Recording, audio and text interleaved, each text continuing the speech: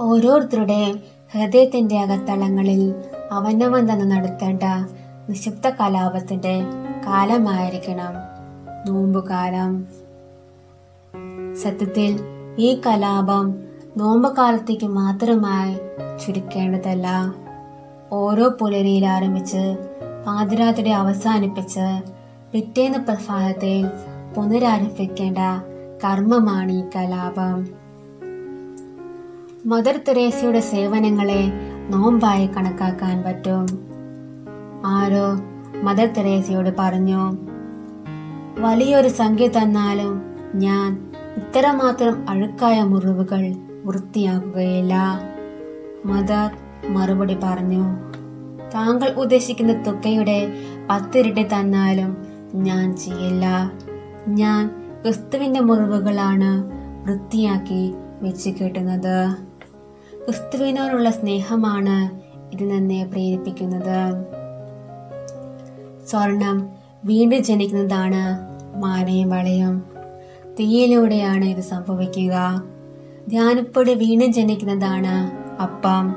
തീയിലൂടെ ഇതും സംഭവിക്കുന്നു. വിത്ത് വീണ്ടും ജനിക്കുന്നതാണ് ചെടി. യേശുവിന്റെ പ്രധാനപ്പെട്ട പഠനമാണ് ഒരാൾ വീണ്ടും ജനിക്കണമെന്നത്. സ്വയം ഏറ്റെടുക്കുന്ന ത്യാഗങ്ങളിലൂടെ മാത്രമേ വീണ്ടും ജനനം തന്തേതാക്കാൻ ഒരാൾക്ക് കഴിയൂ. ജോയൽ പ്രവാചകൻ പറയുന്നു നിങ്ങളുടെ ഹൃദയമാണ് കീറേണ്ടത്. എളിമയുള്ള അണുതപിക്കുന്ന പരിഹാരമനുഷ്ഠിക്കുന്ന പശ്ചാത്തപിക്കുന്ന മറ്റുള്ളവരുടെ ദുഃഖത്തിൽ പങ്കുചേരുന്ന ഉത്തരവാദിത്തങ്ങൾ ഏറ്റെടുക്കുന്ന കുറവുകളെ അംഗീകരിക്കുന്ന മറ്റുള്ളവരെ ബഹുമാനിക്കുന്ന ദൈവത്തെ അനുസരണമുള്ള ഒരു ഹൃദയത്തിന് ഉടമയാവുക എന്ന പരമമായ ലക്ഷ്യമാണ് ഓരോ നോമ്പാചരണത്തിലും പ്രാവർത്തികമാക്കേണ്ടത്. പുറമേ നമ്മൾ ഒരു പക്ഷേ വളരെ കാര്യങ്ങളിൽ ഒരു പ്രശ്നവും ഇല്ലാത്തവരാണ്. മുട്ടയുടെ പുറന്തോട് പോലെ. പക്ഷേ മറ്റാരും കാണാത്ത അറിയാത്ത എന്റെ ഒരു ആന്തരിക ജീവിതമുണ്ട്. അതെന്റെ ഹൃദയത്തിന്റെ നിയോഗങ്ങളും വിചാരങ്ങളും വികാരങ്ങളുമാണ്. അതെങ്ങനെയെന്നറിയാൻ മുട്ട പൊട്ടിക്കണം. പലരുടെയും ഉള്ള ചീമുട്ട പോലെ ദുർഗന്ധം വമിക്കുന്നതാണ്.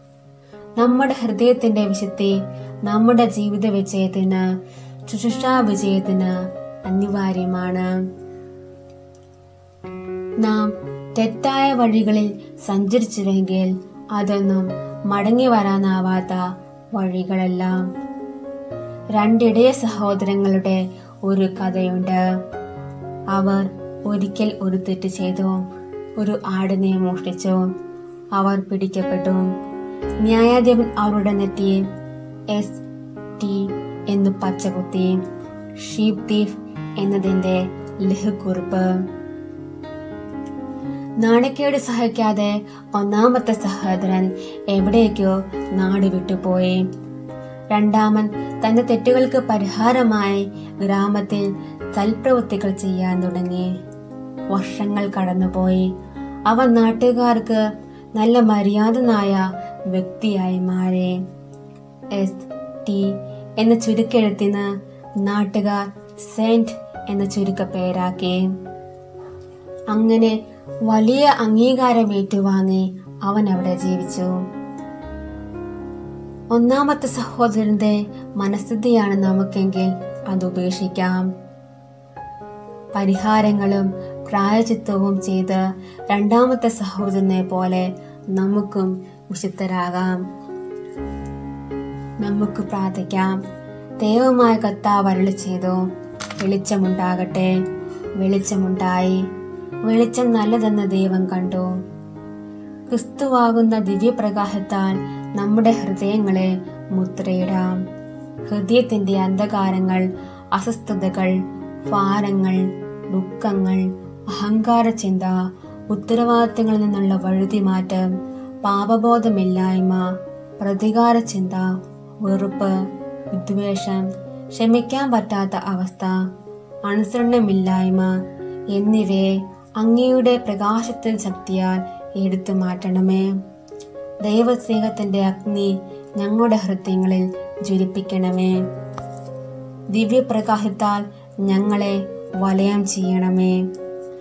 പരിശുദ്ധ അമ്മയുടെ വിമല ഹൃദയം വഴി ഈശോയുടെ തിരുഹൃദയത്തിലേക്ക് ഞങ്ങളുടെ ഹൃദയങ്ങളെ സമർപ്പിക്കുന്നു. ആമേ